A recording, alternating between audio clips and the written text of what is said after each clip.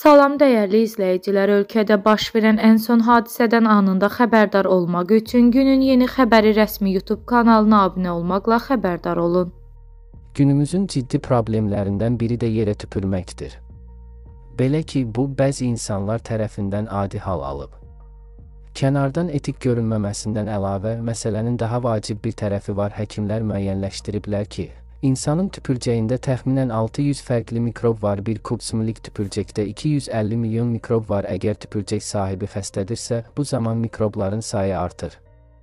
Yerə tüpürmə yolu ilə insana keçə biləcək xəstəliklər sırasında birinci və ən çox bilinəni vərəmdir. Bundan başqa, xroniki bronxit və qrip də yerə tüpürməklə sürətlə artır. Psixoloqların tədqiqatlarına görə yerə tüpürənlər əsəbi daha zəif olan insanlardır. Onlar bu üsulla öz aqressiyasını, bəzən hirsini, reaksiyasını ifadə edirlər. Bu mənzərəni görənlər üçün isə vəziyyət tam əskinədir. Bu onları diksindirir, əsəbilik və stres yaradır. Maraqlıdır ki, bəzi ölkələrdə yerə tüpürmək qadağandır. Dünyanın bir çox ölkələrində səki və küçələrin təmiz saxlanılması üçün müxtəlif məbləğdə cərimələr tətbiq edirlər. Bu cərimələr Avropada daha çox yayılıb. Belə ki, yerə tüpürməyə görə cərimə Barselonada 3000 min avro, 5540 manat, Singapurda 1000 ABŞ dolları, 1700 manat, İsveçrədə 100 frankdır, təxminən 196 manat.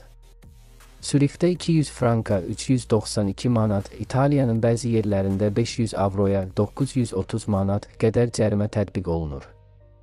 Bəs Azərbaycanda bu inzibati məsuliyyət yaradırmı və cərimə tətbiq edilirmi? Mövzu ilə bağlı sferə azı açıqlama verən vəkil Turan Abdullazadə bildirib ki, Azərbaycan Respublikası qanunvericiliyində yerə tüpürmə ilə bağlı bilavasitə inzibati məsuliyyət nəzərdə tutulmayıb. Bununla belə İnzibati Xətalar Məcəlləsinin 266 3-cü maddəsinə əsasən məişət tullantılarının tutumlardan, urnalardan kənar yerlərə atılmasına görə 50 manat məbləğində cərimə edilir.